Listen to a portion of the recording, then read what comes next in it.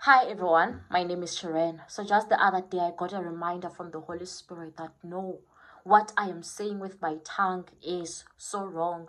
What I am declaring is quite wrong. And many people, the reason why today they are suffering is because of the things that they have declared with their own mouths. They have confessed the things that they should not have confessed. They have made certain bad things their portion. Yet these things should not have been their portion. Yet they would not have suffered this way had they rejected it. So I remember this time I was having a conversation with my husband. I was like, yo, you know, now that you're acquiring this big expense or this big asset or whatever. It means that now you won't have be you won't have the money to blow or to spend like how you used to be spending now. It's going to be so strange you know?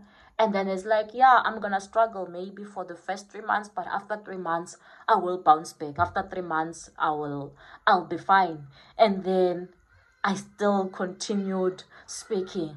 And it's like why do you have to be so negative? Why do you have to confess so negatively? Let's confess positively. And I was like, wow, I was taken away by his words. I was not expecting them. Here am I dwelling on how much little money we're gonna have. But him, he is allowing God, he is allowing God to be the provider. He is allowing God to open other avenues of income. He is seeing more business. He is seeing more work flowing his way. Although right right now he might not know where it's going to be coming from, but he is so confident that no, he won't be stuck there just because he would have attained a new expense in his life, it does not mean that now he's going to be strained, now he's going to be stuck. He still believes that more opportunities are going to be coming. That is why when you read the book of Proverbs, chapter 18, verse 21, the Bible says, Verse 20 From the fruit of the mouth, a person's stomach is filled.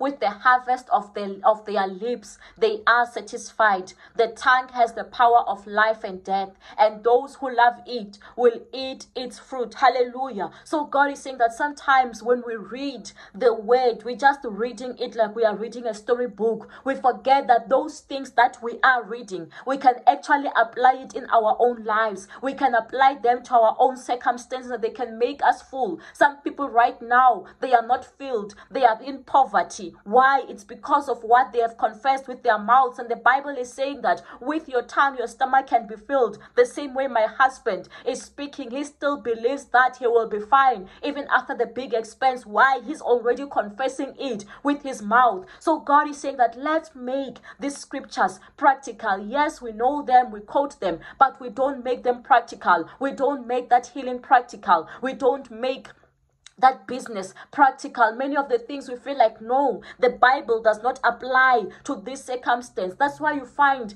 people who are not even believers because of their confessions. They are making it big time in their lives. But us as Christians, we don't use these confessions in our lives where we have to be applying the word of God, where we have to be speaking positive about the situation. We don't speak positive. Yes, we might be going into the room to pray about it it. But sometimes you need to be acting in faith, speaking what you see, which other people don't even see. In the mighty name of Jesus, amen.